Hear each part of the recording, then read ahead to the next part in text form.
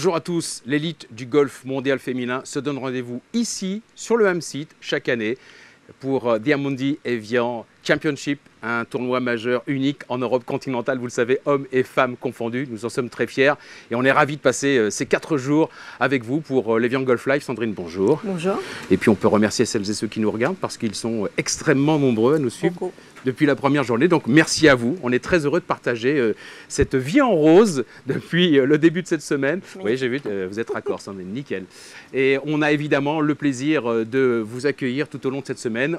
Troisième journée, on va avoir des invités, on va parler de ce qui se passe en coulisses, mais aussi sur le parcours. On va détailler peut-être aussi euh, des choses un petit peu plus épineuses, comme le jeu lent. Il faut en parler, voilà, on ne brosse pas que dans le sens du poil, il faut aussi parler des sujets un peu épineux parce que c'est d'actualité, quel que soit le circuit, garçons et filles confondus. On va revenir aussi sur les belles, euh, les beaux coups, hein, les beaux moments de la deuxième journée Et les moins beaux. et les moins beaux aussi. On pense à Lidiaco, on regarde ces images. Beaucoup d'intensité golfique dans cette euh, deuxième journée, avec notamment la superbe carte de la Canadienne Brooke Anderson. Deux cartes de 64 jeudi et vendredi, 8 birdies hier, un seul bogey en deux tours, ça parle. Et puis on a eu Nelly Corda qui a essayé de suivre euh, le rythme également avec un total de moins 11, 64 puis 67 hier. Elle a fait trois birdies et un eagle. Brooke Anderson, qui, vous le voyez sur cette image, a rayonné hein, sur euh, la deuxième journée. Bien parti également dans, ce troisième tour. Nelly Corda, euh, seule des deux sœurs à avoir passé le cut. Sa sœur, malheureusement, ne sera pas là ce week-end. En tout cas, ne jouera pas ce week-end. Un cut qui est tombé euh, hier soir dans le par et qui a qualifié trois Françaises, dont Perrine Delacour, meilleure tricolore et premier cut franchi, j'allais dire enfin, ici à Evian. Elle qui attendait vraiment ce cut franchi, elle était euh, évidemment très, très touchée par euh, ce qu'elle avait pu sortir comme jeu. 68 euh, hier et 66 pour la journée pour la Française. Premier cut franchi, bien épaulé par euh, Fred Bonargent, hein, son caddie, le, le mari de Karine qui connaît comme sa poche les pièges de ce parcours et qui, au dire de la joueuse, l'a vraiment beaucoup aidé pour éviter tous les, tous- tous les obstacles hein, de cette deuxième journée. Son caddie euh, qui est sur ce sac depuis euh, un an et demi. Puis on a eu aussi bah voilà, des galères, c'est ce que vous disiez Sandrine, les galères avec notamment Lidiaco, l'ex numéro mondial, actuellement numéro 4, Lidiaco qui euh, eh bien, fait un double au 16 et le double au 16 il peut arriver assez rapidement notamment avec cette position de drapeau Sandrine. Et encore, il a été, il a été bien payé parce que Lydia, comme vous le voyez, s'est mis à gauche, a dû, a dû se dropper, a bataillé, a fait une approche, deux approches, c'est revenu. Enfin, elle a, elle a sauvé un 5 qui aurait pu être même bien plus lourd que, bien plus lourd que ça. Donc ça arrive même aux grandes, grandes championnes. Voilà, 73 joueuses qualifiées pour ce week-end, deux tours. Euh, il y a eu des groupes de deux d'ailleurs, euh, ou, ou groupes de trois en fonction de la disponibilité, notamment euh, des orages, hein, parce qu'on est toujours très méfiant à cette période de l'année, des parts du 1 et du 10. Et on a eu quand même, il faut le dire, trois joueuses amateurs qui se sont qualifiées pour ce week-end, notamment Rose Zhang, dont on fera un petit focus sur la fin de notre émission. Nos deux invités, messieurs, bonjour. Avec le micro, allez-y, voilà. Bonjour, Christian. Laurent. Saki, voilà, secrétaire général du groupe Danone depuis peu, finalement. On- Quelques mois. quelques mois, voilà. Et François Dussard, bonjour François. Bonjour. Voilà, vous êtes le directeur général délégué du, du resort, hein, euh, de l'Evian Resort. Euh, premier, peut-être première question, Laurent, rapidement. On essayait de réfléchir avec Sandrine sur comment on pourrait nommer, comment on pourrait appeler la liaison entre ce tournoi et, et Danone. C'est quoi? C'est l'enfant de la famille? C'est le sponsor? C'est le partenaire? Comment on peut trouver le- la liaison? Je sais, je, c'est, difficile. Euh, l'enfant de la famille, peut-être. C'est, euh, oui, c'est- je pense que c'est un bon. En tout cas, c'est de la famille. C'est la ça, famille C'est sûr. Oui. C'est la famille. C'est peut-être le petit rejeton un peu différent dont on est très fier. Voilà, c'est le, Le petit rejeton dernier, qui, quoi, le qui- petit dernier, mais qui fait totalement autre chose. hein. Il Ouais. fait pas du yaourt, il fait pas de l'eau minérale, C'est ça. il fait du sport. Ouais. Il le fait très bien aussi. Alors justement, le groupe Danone, on peut se dire à première vue qu'il n'a pas besoin de ça, puisque c'est quelque chose qui est complètement différent. Quel, est l'intérêt? Qu'est-ce que, ça amène de plus à Danone, ou de différent en tout cas? Alors, je- ce que ça amène à Danone, enfin, Danone, comme vous le savez, dans la région d'Evian, ça représente beaucoup. C'est le premier employeur avec euh, les eaux minérales et avec l'Evian Resort. Et il est de, si on parle d'intérêt, il est de l'intérêt de Danone de faire en sorte que cette région reste dynamique. Euh, c'est très important que euh, cette région se développe, c'est très important euh, économiquement, à la fois touristiquement, qu'elle garde de la vitalité, qu'elle garde de l'attractivité. Et donc tout ce qui participe à créer de l'attractivité et de l'intérêt de, de, Danone. C'est pour ça qu'il y a des festivals de musique, c'est pour ça qu'il y a ce très très grand tournoi. Justement, parlons-en de ces multiples activités au sein, au ici du resort, François. Vous avez donc les hôtels, la restauration, le casino, le golf, les thermes, euh, les festivités dont, vient de, parler Laurent. Euh, avant d'accepter euh, ce lourd poste, ce gros bateau, cette grosse machine, vous avez réfléchi, dit oui tout de suite? Comment ça s'est passé? Parce que c'est quand même une sacrée machine à faire avancer. Hein. Alors, naturellement, j'ai réfléchi, mais vous avez mis le doigt sur la, la diversité des métiers au sein du resort et c'est vraiment ce, challenge-là qui me, qui me plaisait. Moi, j'ai vraiment un, parcours hôtelier et c'est vrai que de, pouvoir allier le sport, la culture, le casino et l'hôtellerie, c'est un projet magnifique et c'était, oui, naturellement séduit et, ravi, et, ravi, un vrai challenge et ravi d'être euh, d'être ici depuis, depuis peu de temps, mais ravi absolument. Alors justement, c'est votre baptême du feu, c'est votre première année. Est-ce que vous pouvez nous décrire un petit peu tout ce que vous faites? Parce qu'on est bien loin du directeur d'hôtel, parce que j'imagine que là, il y a eu des, restrictions dues à la météo, euh, le, feu pour le feu d'artifice, l'eau pour les autorisations de drones, les autorisations de drones, euh, les orages, du retard, pas du retard, à quelle heure va avoir lieu le dîner, il y a 400-500 personnes, comment? Est-ce que vous pouvez nous dire un petit peu ce que, ce que vous faites en tout? Ben, je dirais que tous ces événements, enfin, c'est presque la vie quotidienne de l'hôtelier. Répondre à des demandes de dernière minute, des impondérables. Alors on gère, c'est notre flexibilité. Euh, le feu, on ne peut pas le tirer, ben, on, gère d'une façon. Euh, naturellement, Là, il y a eu un orage. Il y a eu un orage, voilà, il y a eu de la grêle. Donc je pense que la flexibilité dans nos métiers, c'est le, voilà, c'est le, le mot-clé. Et puis, euh, bah, depuis trois semaines, on, part on essaye d'avoir toujours un coup d'avance. On essaye d'anticiper bah, les, les, possibles, les possibles changements de dernière minute. Et, et c'est ce qui est passionnant. Vous connaissiez cet événement avant de venir à Evian? Alors, je le connaissais de nom. Euh, je n'y avais jamais assisté. Et j'avoue que de découvrir, de pouvoir se promener sur, le, euh, sur, le, enfin, sur les différents trous, sur tous les espaces, les zones d'hospitalité, non, non, c'est une vraie belle découverte. Laurent Saki, en revenant d'Asie, on a eu l'occasion d'aller en Corée ou au Japon, où Evian est, très en place. Est-ce que la notoriété golf, parce qu'il y a une vraie notoriété golf autour du nom Evian en Asie, hein, que ce soit à Séoul, au Japon, c'est très marqué. Est-ce que finalement ça sert fort le groupe ou est-ce que c'est pas un peu en déséquilibre avec tout ce que le groupe peut proposer en Asie, par exemple? Est-ce que c'est une aide ou, est-ce une façon de, faire connaître? C'est une non non c'est évidemment une aide. Euh, tout ce qui renforce la notoriété euh, des, marques fortes de Danone euh, est, une aide, est une aide pour Danone. Il s'avère qu'en Asie, et notamment en Corée par exemple, en Chine, Danone est assez peu présent dans les yaourts parce que, parce que les produits laitiers frais se consomment assez peu dans, ces pays-là. En revanche, Danone est très présent grâce, euh, grâce à ses eaux minérales, grâce notamment, euh, grâce notamment à Evian. Et, la notoriété du, tournoi entre en synergie avec, euh, avec celle de la marque. donc évidemment, c'est pour nous aussi très intéressant que tant de joueuses asiatiques jouent aussi bien sur le tour et jouent aussi bien sur, sur le tournoi de ce point de vue-là. C'est très important. Et gagnent puisqu'elles l'ont souvent, elles l'ont souvent gagné. Et la gagnante idéale de cette année, alors, ça serait bien qu'elle soit quoi? Ah. ah, la Alors, non, non, pas non, non. Si on parle de famille, si on parle de famille, je, je, ne favoriserai personne, mais si on parle de famille, c'est forcément notre voisine. Euh, Alban Valenzuela, elle est exceptionnelle, dont, la, dont, la, maman a travaillé chez Danone, forcément la euh, Suissesse, hein. la Suissesse, et qui a fait la carte du jour, qui a, fait la carte du jour, euh, qui a joué ici avec une wildcard il, il, y a quelques années pour, pour, pour la première fois. C'est vraiment euh, notre gagnante de cœur. Maintenant, euh, que la meilleure gagne. Ah, il s'en est bien sorti. Oui, c'est bien, belle Bien, on va vous laisser, messieurs, parce qu'on déjà, on court après le temps, Sandrine, et on a un sujet important qui arrive dans quelques instants. Non, pas que celui-ci ne soit pas important, mais là, on va parler de, de jeu. Laurent Sacchi, euh, François Dussard, merci de nous avoir rendu visite, d'avoir pris un peu de temps. On a bien compris que vous étiez pas débordés, mais en tout cas très occupés cette semaine. Merci à vous deux. Merci Christian, merci, Sandrine. Merci, beaucoup. Voilà, on va surtout tout de suite regarder de belles images. Alors, on vous a montré tout à l'heure quelques jolis coups et pas que de la deuxième journée. Là, on, voudrait, on voudrait vous emmener sur la planète rose, celle d'Evian, avec les belles images de la deuxième journée. On y va.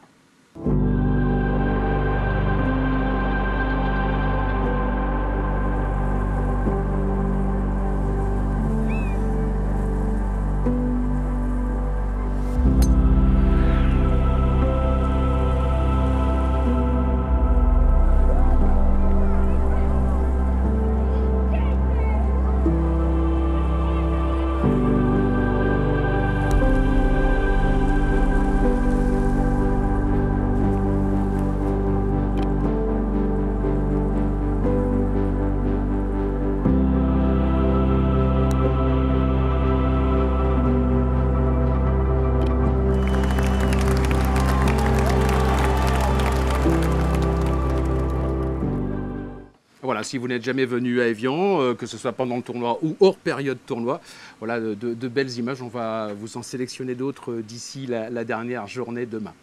On lance un sujet un peu touchy, euh, pas facile, Sandrine? J'adore. Moi aussi. Le gelant, la plaie du golf.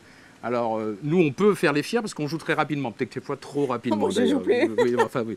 Donc, le gelant. Alors, on en parle bien sûr, mais tabou, langue de bois, vous adressez euh, à certaines corporations, on vous dit oui, mais non. Enfin, personne ne se prononce, à part quelques joueuses et quelques joueurs. C'est surtout fais ce que je dis, mais fais pas ce que je fais. Oui, c'est un en peu fait, ça. c'est ça. Il y a la règle, C'est ça. écrit, et peu de gens, pour ne pas dire personne, ne la respecte. On a quelqu'un qui connaît le jeu par cœur. C'est un spécialiste, un expert. Il s'appelle Seb Clément. Seb, bonjour. Bonjour, bonjour. Ça va? Très bien, ça va, Bon, merci. vous arpentez les fairways toute l'année, c'est votre métier, vous êtes caddie, vous êtes joueur, mais aussi vous accompagnez l'une de nos joueuses françaises, Pauline Roussin-Bouchard.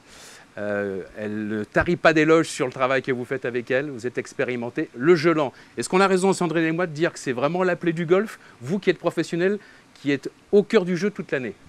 Non, c'est sûr qu'on a, vraiment envie de faire des parties en 3h, 3h30. Tout le monde a envie de jouer comme ça assez rapidement. Euh, passer 5h, 5h30, 6h sur un parcours, c'est, un enfer. Attendre à tous les coups, n'y a pas vraiment de, rythme, ça c'est, jamais agréable. Moi, j'ai l'impression que 40 secondes, ça veut plus rien dire. Franchement, j'ai l'impression que personne ne la respecte. J'ai commenté pendant des années. Je devenais dingue der- derrière mon écran. J'envoyais même des textos. J'ai l'impression que les arbitres ne servaient à rien, que limite ils avaient peur des joueuses. Est-ce que ça change? Est-ce qu'il y a quelque chose qui bouge? Comment Non, vous voyez ça- ça de l'intérieur, surtout? En, en fait, ça, va, ça dépend vraiment des, des coups qu'on a à jouer, des, des petits shots Bien sur les par bien 4 sûr. où on a un drive à taper. euh, Il n'y a même pas de discussion, le choix est fait, c'est drive au 7, on tape, on envoie, terminé, on discute la ligne. Ça prend 5 secondes et après, dans l'exécution du coup, il y a des joueuses qui vont être plus ou moins lentes euh, à, à faire leur routine et à exécuter le coup. Mais après, il y a certains coups où il faut, faut discuter, il y a des éléments qui, prennent en- en- qui, prennent, qui sont à prendre en compte.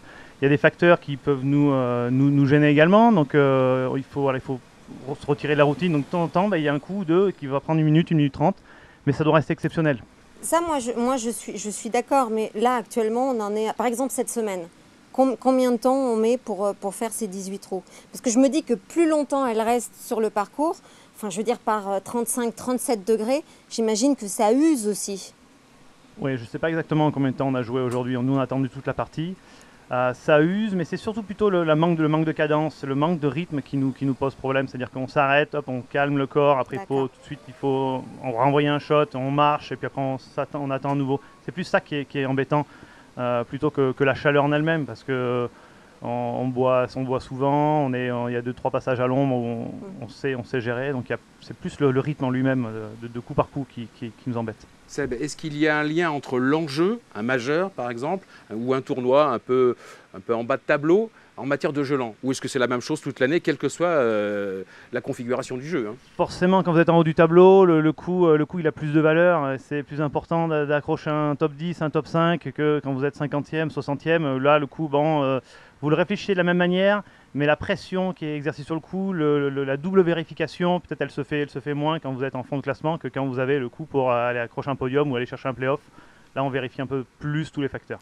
Pauline, elle est plutôt du genre euh, à aller vite. Tonique. Quand tonique, quand il lui arrive d'être tiré avec une joueuse qui, elle, a la, la réputation d'être lente, quel est justement le rôle de Caddy avec sa, avec sa joueuse? Parce que ça, ça fait partie du... Alors on a mis un peu un, en principe une routine, c'est-à-dire qu'elle tape déjà plus, plus fort souvent que ses, euh, ses partenaires de, de la partie. Donc quand lorsqu'une joueuse est lente, on reste à la hauteur de la joueuse qui est lente, et ensuite on va aller à notre balle et faire notre routine très tard, juste, juste au moment où Pauline doit jouer. On va pas aller à la balle, attendre, prendre les informations, poireauter la balle. Non, on attend que la joueuse joue et ensuite on marche, on fait notre routine et on joue. en fait, ralentir On le rythme on sur ralentit la... et on, on remarche pour retrouver un rythme et faire notre routine. Et au On début, que il a, routine- il a fallu la tenir par la...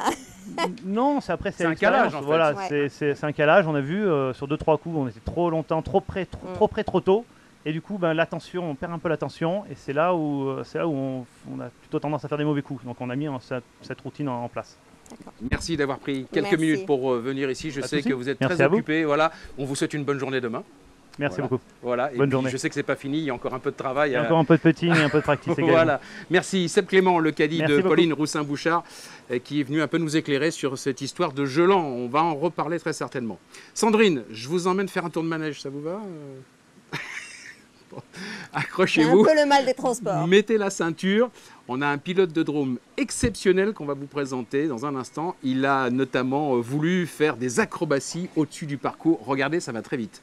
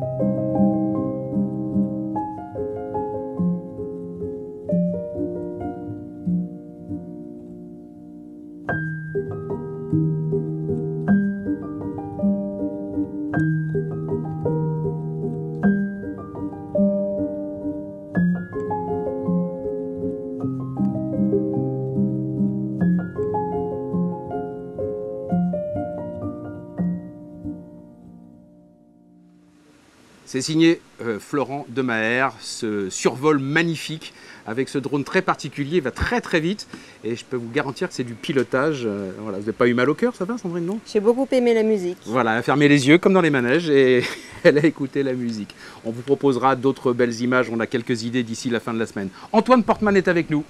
Bonjour. Bonjour. Vous allez bien? Oui, très bien, ravi de vous accueillir. Vous êtes le directeur général Evian euh, Volvic International. Euh, on a quelques questions à vous poser avec Sandrine, notamment euh, euh, votre engagement, l'engagement d'Evian dans, le tournoi des, débuts jusqu'à aujourd'hui en fait. Bah, Vous l'avez dit, c'est déjà euh, un engagement qui s'inscrit dans la durée depuis 1994. Je pense que l'i- l'idée d'origine, c'était comment on fait pour promouvoir l'audace, l'enthousiasme de toute une nouvelle génération de joueuses. Et c'est une cause qui tient évidemment à cœur à la, à la marque Evian. Et donc euh, voilà, on est fiers d'être associés depuis euh, autant d'années. Euh, et puis le sport, c'est pas quelque chose de nouveau pour Evian. hein. Vous le savez, euh, tous les grands sportifs font particulièrement attention à leur hydratation. Euh, et donc ils ont choisi la meilleure euh, hydratation, euh, en l'occurrence Evian.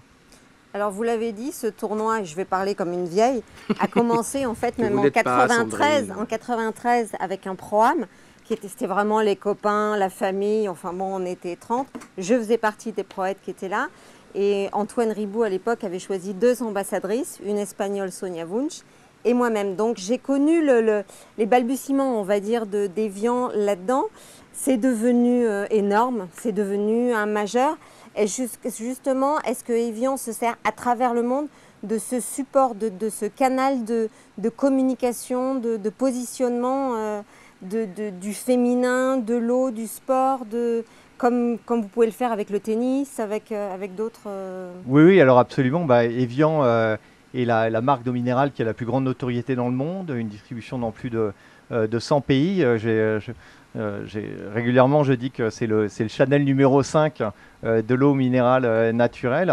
Et donc, bah, tout ce- ce- cet accompagnement du sport, que ça soit via ici euh, l'Evian Championship ou aux États-Unis, par exemple, avec, l'US Open, bah, contribue à, à parler d'Evian, à parler de, de ce qu'on est, de l'hydratation saine et aussi d'une certaine forme d'élégance, euh, puisque euh, Evian à l'international a un positionnement euh, très premium. On sent même que la population ici, qui n'est pas forcément ni, ni, ni golfeur ou autre, hein, euh, a une sorte de fierté de ça, de cette identité internationale que, que transporte Evian. On sent qu'il y a une vraie fierté ici Ah d'être oui. d'être originaire d'Evian. Et, et même quand on habite Tenon, quelquefois on dit j'habite Evian. Quoi. Non, non, Tellement- absolument, Il y, a- il y a c'est- ce ressenti fort. c'est euh, embouteillé au château, euh, comme les grands crus, pas fait très, ici, pas très loin ici. d'ici, c'est fait ici. On a la, la chance d'avoir notre, notre source à quelques kilomètres d'ici. Et, euh, et je pense que c'est une, une vraie fierté nationale euh, de pouvoir euh, apporter l'hydratation saine et une expérience unique dans autant de pays dans le monde. Donc une, une très grande fierté pour nous tous, pour toutes les équipes de- d'Evian. Alors il y a eu une nouveauté cette année, on a une Evian avec des bulles. Voilà. Et, En anglais. et on a en, en anglais. Je crois que Antoine va peut-être nous dire où on peut la trouver ou ne pas la trouver d'ailleurs. Alors, euh, vous avez raison, Sandrine. euh, alors, qui aurait pensé qu'un jour Evian Pas moi. euh, aurait euh, du pétillant euh, Et je vais vous raconter une petite histoire. Quand j'étais directeur général aux, aux États-Unis, euh, tous nos amis euh, partenaires distributeurs étaient en permanence en train de nous dire on adore les viands euh, plats, mais est-ce qu'un jour vous pourriez faire du pétillant?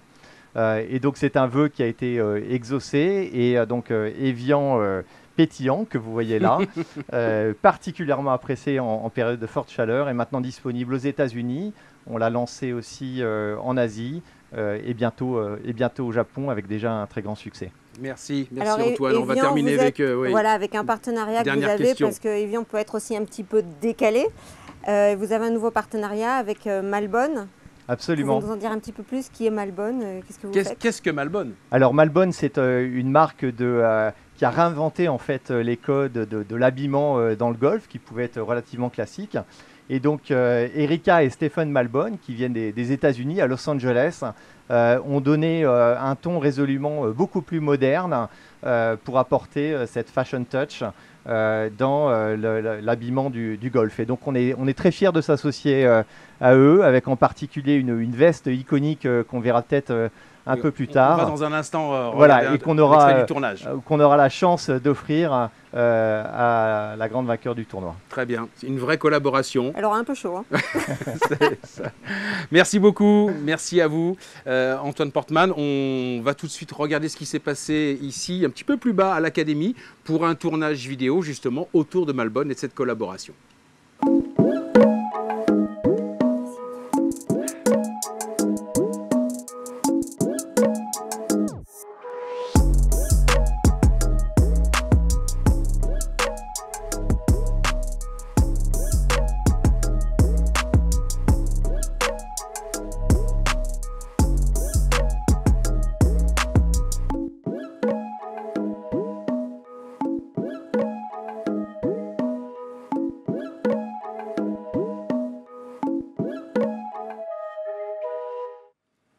Pour ce tournage de clip, les, les petites coulisses, une sorte de, de, de petit clip qui nous permettait de découvrir un peu plus euh, les images de, de Malbonne. Sandrine, on va parler des jeunes. On Avec sait ici que l'axe, l'ossature, la colonne vertébrale d'Evian, je parle de golf, eh bien c'est bien sûr toutes les galaxies jeunes. Ce sont les galaxies jeunes, à commencer par les plus jeunes. Quand on dit plus jeunes, c'est quoi? C'est 8, 10, 12 ans? 7, 12 ans. 7-12 ans avec la Haribo Kids Cut. Parce qu'il faut bien comprendre le process, c'est on prend les plus jeunes et on les amène jusqu'à jusqu'à Pauline Roussin-Bouchard, jusqu'aux majeurs, etc. Et des, des jeunes qui ont démarré, ils avaient une dizaine d'années ici. Euh, D'abord, la Haribo Kids Cup, là je peux me permettre de m'adresser à vous Sandrine, parce que vous êtes la maman de, de, de- de ces épreuves. hein. Bientôt grand-mère. Bientôt grand-mère. Non mais c'est vous qui avez euh, euh, porté à bout de bras pendant... Moi j'ai assisté au début, ça n'a pas été facile. Euh, On il a, a eu notre petit succès assez vite. voilà, et, et- et c'est important de- de- d'expliquer peut-être comment naissent les champions. Une Pauline Roussin, par exemple, ou d'autres encore? En fait, c'est un peu grâce ou à cause de mon, de mon fils que j'ai- découvert les, les- les compétitions pour les, euh, pour les petits. Et, euh, et donc, je me suis dit, il n'y a rien en France. Donc, on a voulu chercher un sponsor aussi emblématique qui parle à tout, à tout le monde. Et cette compétition a démarré en 2010. Et pour les 7 à 12 ans, on est en 2022. Donc voilà, c'est notre 13e édition, enfin la 12e parce que le Covid, est, le Covid est passé par là. Et on a eu des champions, on a eu euh, des champions de France. Là, il y a Pauline qui joue cette semaine pour Roussin Saint-Bouchard. voilà, qui est qui passé joue par la cette semaine qui est passée par là. Lucie Malchiran qui fait partie Absolument. du team euh, Amundi. On a euh, Agathe Lenné Agathe qui aussi, oui. on, on a- on en a, on en a plein. Une vraie on en a réserve de Et on en, champions. on en est très fiers parce que ça nous donne, très fiers, parce que ça nous donne une légitimité. Absolument. Et, et en fait, voilà, c'est la première marche. Et la deuxième marche, c'est la Juniors Cup. Là où vous avez peut-être vu peu, un petit peu un plus petit haut peu plus haut, vous avez vu euh, Jordan Spieth, euh, Justin Thomas, euh, Rose Zhang, euh, dont Ouais, on va parler dans quelques instants, par exemple la numéro 1 mondial amateur en ce moment. On sent vraiment que ce- ces jeunes, ces jeunes non seulement sont reconnaissants, mais heureux. Quand vous posez la question à Jordan Spieth, on a eu l'occasion de le faire il y a quelques années, il se souvient très bien de sa venue ici quand il était plus jeune et que ça l'avait lui aussi aidé déjà à découvrir le monde, partir ailleurs et puis progresser dans ses étapes jeunes. Et voilà. Et alors justement, parce qu'on fait tout ça, enfin parce que le groupe Danone fait tout ça, on a aussi des compétitions comme la Palmer Cup, qui, qui viennent. Donc la Palmer Cup, c'est euh, bah, c'est les champions que vous voyez maintenant, c'est les Ion Ram, c'est Créé par euh, Monsieur Arnold Palmer il y voilà. a de Ce nombreuses sont années. les grands grands champions. Euh, la moitié de la moitié des équipes de Ryder Cup sont passées par là. La Palmer Cup, c'est les meilleurs universitaires américains contre les meilleurs universitaires Bien. qui sont aux États-Unis mais européens. Voilà. Très Donc clair. euh, la On donne les dates? On donne les dates et puis on, De on- 24-25 septembre. 24-25 septembre, ça c'est la Ribos Cup. Oui. Et la semaine qui précède, 20-22, c'est la Juniors, Juniors Cup. Cup. Voilà, si vous voulez venir à. Evian découvrir les jeunes de 16 demain, 16 pays. avec 16 Voilà, et pays. nous, on commence sur la Haribo Kids Cup, on commence à avoir des Slovaques, des Slovènes, des Espagnols, des Italiens. Donc voilà, on- nous aussi, on, on commence à avoir nos lettres de noblesse. On conclut avec justement Rose Zing. C'est l'actuel numéro 1 mondial. Elle est amateur. Elle est là cette semaine. Elle a franchi le cut. Aujourd'hui, c'est un petit peu plus difficile. Mais Rose Zing est une jeune fille à découvrir. Elle, elle est très jeune. Elle a 19 ans. Elle a tout l'avenir devant elle. On voit bien qu'elle a un énorme Et potentiel. un bel avenir. Oui, bel avenir, voilà.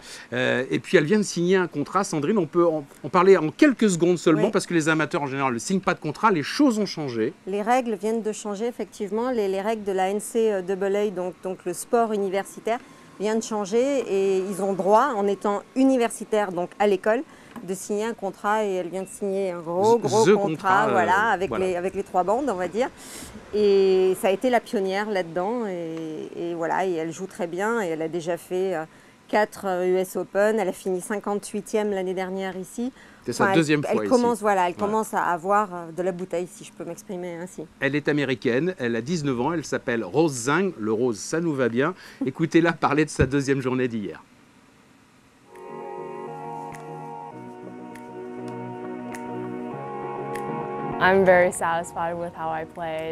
Je suis très heureuse de mon jeu. J'ai dû euh, batailler aujourd'hui avec that des I putts pour le par, dont euh, beaucoup faisaient plus de lot, um, from 2-3 over mètres.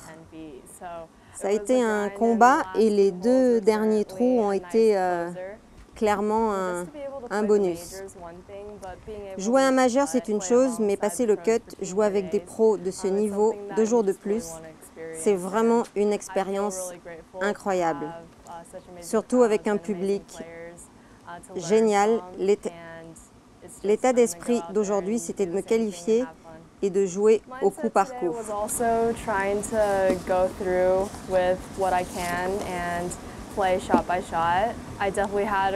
J'ai clairement eu deux ou trois coups qui se sont égarés et qui m'ont pénalisé, Um, mais le but c'était de faire partie de celles qui jouent ce you're week-end. Je suis donc très contente et j'attends ça avec impatience. La numéro 1 mondiale amateur, la vie en rose, bon, facile, hein, elle est prédestinée euh, pour cette étape euh, Et- de majeur. Et la, la petite histoire, c'est qu'on a ses cousins à la Haribo Kids Oui, Cup, parce que ses cousins sont membres du, exactement. du- de la boulie. Voilà. Et voilà. Et donc on a des zingues, nous Des- aussi. euh. Voilà. Rose Zing, euh, actuel numéro 1 mondial et qui a franchi le cut, on en reparlera Mhm. demain. Voilà, c'est tout pour aujourd'hui. Euh, J'espère que vous nous suivrez demain. On était très heureux de partager cette troisième journée avec vous. On vous donne rendez-vous sur les réseaux sociaux, sur nos chaînes, hein, la, chaîne spécialisée sur YouTube, mais aussi euh, sur Facebook, à savoir euh, euh, nos directs avec euh, Lévian Golf Live. Et on se retrouve demain pour la conclusion de cette semaine tout en rose. Donc merci Sandrine. Au revoir, à demain. Merci de votre fidélité. Bon golf, prenez soin de vous.